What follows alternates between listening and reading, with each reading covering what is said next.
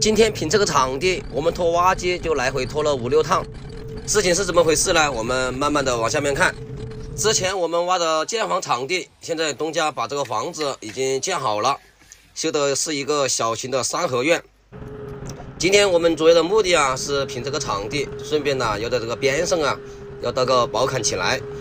因为这个边上离这个路差不多有个一米多高，这里啊就必须要搭个宝坎起来。最开始东家的意思啊，在这个边上用砖砌起来，但是大家都说这个用砖砌起来啊，管的时间不长，容易胀垮，所以最后啊还是决定呃用混凝土倒起来。这个地方泥巴有点多，我们把这个多的泥巴挖上来，把下面呢挖够两米多宽，我们挖机能在上面操作挖基础槽就行了。大家注意看，这个前面呢有个桩桩，这个桩桩下面呢是一个天然气管道，是那种入户的管道，不是很大。但是我们也不知道这个管道到底是怎么走向的，所以啊我们在挖的时候啊都特别小心。虽然说这个是入户的管道，但是呢挖坏了也挺麻烦的。我们在挖的时候啊就特别的小心啊，一点一点的挖，一点一点的刨。之前我们挖过天然气管道，知道这个管道啊，在最上面的一层搞了一个标识，只要我们轻轻的挖，挖到那个标识了，不往下挖啊，基本上都不会挖到下面的管子。我们大概只挖了四五十公分深啊，基本上都挖到那种老土了，我们就没有继续往下面挖了。好在呢，这个中途啊，我们没有挖到管路。宝坎的基础槽我们挖好了，就把挖机开上来呀，把上面这个泥巴呀散一下。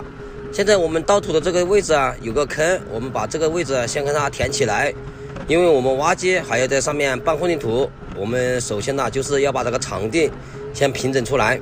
我们挖机好在上面干活，上面的场地我们大概的平出来之后啊，就在这个角落这个位置啊，挖一个坑，我们到时候啊，好在这里拌混凝土。这个坑为什么要挖到这里啊？首先第一个呀，是因为那个材料上来不了，只能倒在前面那个路口那个位置。我们把坑挖在这里啊，首先第一个，我们就是在挖材料的时候啊，要好挖一点啊，距离要近一点，所以啊，我们就选择把这个坑挖在这里。在挖的时候，我们尽量啊，把这个坑挖深一点，稍微挖大一点点。这个坑挖好之后，我们再把这个底部还有这个边上这个面用斗斗给它拍实，拍扎实一点。这样啊，我们在挖的时候啊啊就不容易把下面的泥巴挖起来。这个时候，这个石子呢也拉起来了，我们就按照两斗石子一斗沙的比例啊，开始拌混凝土。我们这个斗是零点二方的，基本上要挖五斗才有一方料。一方料啊，我们配的五包水泥，按照这个比例啊加进去之后，我们就直接开始搅拌。在加水之前，我们先把这个水泥灰和石子啊，先把它搅拌一下。搅拌了之后，我们再开始加水，这样啊就可以防止啊这个水泥灰起坨。混凝土拌好之后，东家说他屋前面的这个小地坪啊也要倒混凝土，我们就先把这一坑料，呃，把这个地坪先给它倒起来。屋前面这个地坪倒好了，后面的呀，我们就把这个混凝土啊甩到这个基础槽里面去。先在这个基础槽里面垫一层水泥，水泥垫好了之后，这个边上不是有很多石头吗？我们再把石头甩下去，这样啊能节省一点水泥啊，这个石头啊也不浪费掉。石头甩完了之后，我们再在石头上面呢再盖一层混凝土，这个垫层呢基本上就是倒好了。垫层虽然我们倒好了，但是他们工人呢还要在边上支模，这个中间呢要耽搁一点时间。我们呢就把挖机拖出去，在其他地方去干了一点活。当他们把模支好了，我们再把挖机拖过来。这个坎子啊，接近两米高，然后就支了两次模。第一轮模呀，我们干完了，啊，基本上没耽搁什么时间啊。中途来了一趟，我们把第一板模倒好了之后，支第二板模的时候啊，这个木工也有一点事情，又耽搁了几天时间。然后啊，我们又把挖机拖出去，当他们把模支好了，我们又把挖机拖进来。这个时候啊，我们挖机来来回回的都跑了三趟了。这个坎子越来越高，这个里面呢也就越来越宽了。然后全部倒混凝土起来的话，东家吃不消，我们就挖点泥巴，把这个边上啊保一下，这样啊我们在倒混凝土的时候就可以少倒一点。然后我们就开始搬混凝土，这一层混凝土啊，我们倒一层混凝土，我们就要挖一点泥巴，把这个里面保一下，不然这个混凝土就会越倒越多，越倒越宽。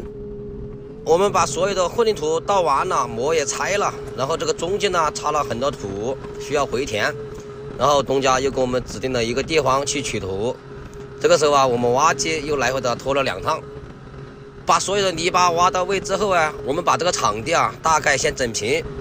整平了之后，东家说这个角落这个位置啊，要跟他挖一个化粪池，因为他这个地方啊比较窄啊，后面呢又没有地方挖化粪池，所以啊，只有把这个化粪池选到这个位置。工人们把这个化粪池搞好了，今天呢才是正式的来评这个场地了。看到这里啊，老铁们，你们自己看一下，这些活干一点活呀，要等个一两天、两三天，甚至时间更长。你说挖机停在这里等吧，又不划算，所以啊，中途外面有活呀，我们就拖到外面去干活，这样来来回回的这一点活，我们差不多呀，挖机就拖了五六趟，真的是连拖车费都不够。这个活从最开始拆房子、挖无界、挖基坑，到混凝土等等，从头到尾，东家都是喊着我们挖机，所以啊，后面这一点小活路，你说按起步价算吧，嗯，感觉啊又说不过去。所以啊，这个后面这一点活，我们该吃点亏就吃点亏。好了，老铁们，所有的场地都停完了，然后我们也该压的压了。这个化粪池的位置我们就没有压了，就用斗背轻轻的拍一拍就行了。好了，老铁们，今天这个活啊就正式的结束了。